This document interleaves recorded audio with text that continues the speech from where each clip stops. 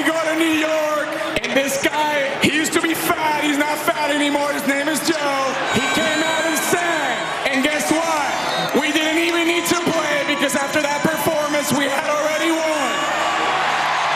won. Brutal for Fat Joe. Now, I agree he was cursed, but I don't like the Dodgers being mean about it. Jake, Fat Joe, curse? Jim, Zach, everyone tuning in. If you're FJ, you got to switch things up. Well, we've seen Snoop Dogg do it. I was going to reference, you know, P. Diddy rebranded, but he's so far out. But Snoop Dogg went Snoop, Snoop Lion, and all that. If you're Fat Joe, you're not as fat anymore. And tough couple days. Tough, man. We were at the World Series, and I think there is video of me when he came on saying, no, right away. Fucking Fat Joe! And it, it did change the course of the game. History. It's a drastic divide before they showed Fat Joe, after they showed Fat Joe. But to hear Joe Kelly say that he was in the dugout having the same, like, yeah, We, we were saying it every single game. Just let them throw the ball to the infield. They can't make a play. I mean, we're the Dodgers. We know every little detail. because now I feel bad for him. He's a nice guy. He's a good father, real good beard. he seems like a nice cat, and it it's just landed in a really bad spot. But I think it's a little rebrand. Maybe it's nice if Fat Joe's taking a lot of the blame off of the Yankees. Right. Because I heard the judge miscatch be compared to Buckner at first. And people were like, yeah, and that wasn't even an elimination game. And I'm like, oh my God. Right. This is bad. Because three people made errors. There's not like a name, like Right. the Buckner play. There's not like a name for it's just Right. top of the Everyone kind of has their favorite one. Yeah. But now we could just call it the Fat Joe inning, and he's taking a lot of lot of the weight off the Yankees. Hey, let's take it on a second. We're on a, the pulse of Yankees Nation. I'm ready. Fat Joe's going to show up. Is it a welcome with open arms and like we'll get through this, or is it you're out? Goodbye, my lover. Goodbye, my friend. Let's take a break. Let's take a break. Nothing wrong with that. Yeah. Yeah. People take breaks. Err. Talk in Swedish. Go. Ushka brejska diska. little Russian, but we'll take it. Oh, it is a little Russian. It was a little Russian. I mean, Sweden's right there. Right there. You get you go in the bay, hop in a boat, boom. Did you put a boat on my hand?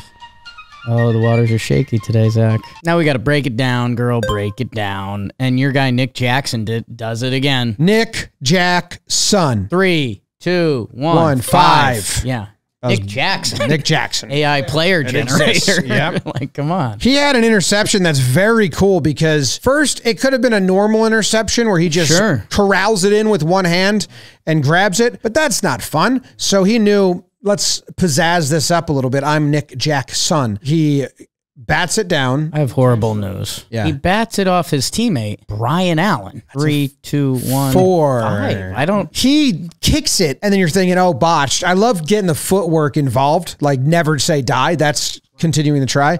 His teammate gets kicked, hits his teammate in the face, comes right back to him. He grabs it for the interception. He should get all the credit. Thanks to the teammate, but that's a great interception. Good quote at the end. I couldn't even tell you what happened. I didn't even know I had the ball for a while. Just lucky, man.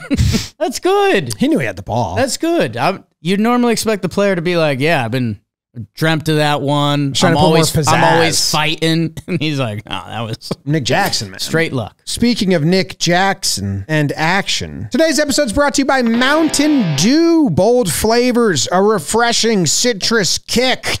They'll get you off your ass and have you feeling like you're on an actual mountain where the weather is always perfect. Your oh. friends are ready to hang, and a day of oh. epic proportions awaits. We drink Mountain Dew in our warehouse. Blitzball Battle 5 premiering soon. Well, yesterday, last night, Jake and I played. Go watch us. Baggage. The mountain is calling. You should answer. Grab your friends, grab an ice cold Mountain Dew wherever refreshing beverages are sold, and do the Dew. Jim, we've got a trending Selly. It started at your favorite incarnate word, which nothing should be named that. Never mind a college. Uh, but your guy Jalen Walthall. Three, two, Hold on, let me see how it's spelled. Yeah. Okay, go. One, two, three, Four. five. Jalen, pretty sick name. Walthall. Yeah, the Walthall is terrible. Just brings you back to earth. Walthall. He scores the tutty and he hits him with kind of the reverse bowling pin Headstand rollout headstand. would be the gymnastics term if we were doing like a floor routine. Right. It's very well done. And it was, yeah, like everyone saw it and was like, cool, cool, cool. Copycat league, it gets to the NFL. I think your guy, Amon-Ra St. Brown, Yeah. three, two, one, and eight. Eight. he hit it the best because he like really stuck it. It was up straight. The other guy, Drake London, Yeah. you're out. You can't do it. He can't. I can't do it. He can't do it. It's a sick name. Drake London. That's a that's a TV name. Anyway, Drake London's wasn't good. Amon-Ra St. Brown nailed it. Almost better than the original Jalen Walthall, but he gets all the credit. Like he gets the royalties. Yeah. This was music. If it's worked like that. Jim, that's not sports. Uh, I saw that twinkle in your eye again. Well, the not sports is science related, which is a touchy subject here on Weekly Dumb. But I think I like this guy. And I'm interested in the science. He wrote an article, and his name is actually, I don't think I wrote it down. He should. Rem- ah, it feels rude to remain him nameless, but he's so happy. He's Maybe so we'd Say his happy. name at the end. Article is called I'm Obsessed with Whale Poop. It can be neon green, bright red, or even sparkle. Just in the ocean. First encountered whale poop 30 years ago. There were gallons of poop in the water. Gallons, Jake. It's big animal poop. It says it looked like red floating bricks. The smell was overwhelming. Some whale poop smells like brine and seawater. I think that's probably the seawater. But with right whales, there's a strong smell of sulfur.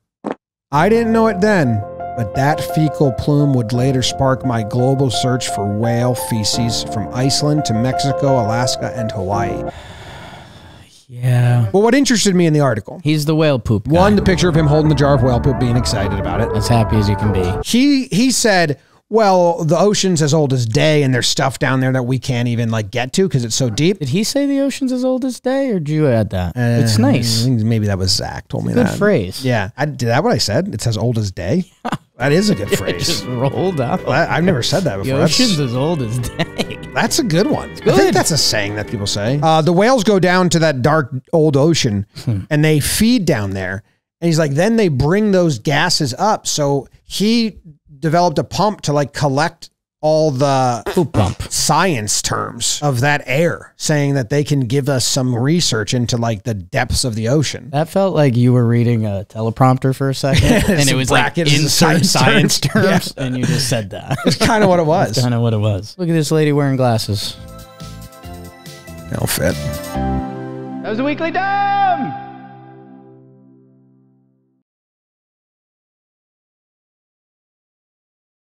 What do you think his name is? Give me his initials and I'll give you his name. I'm obsessed with whale poop. No way. JR. No way. I know. For a second, I thought it was RJ. JR. Okay. Uh, Timeout. did you say timeout? Time's in. What are you laughing at? His name? A little bit. A little bit I am. What do you think the odds are that I guess it? Zero, man.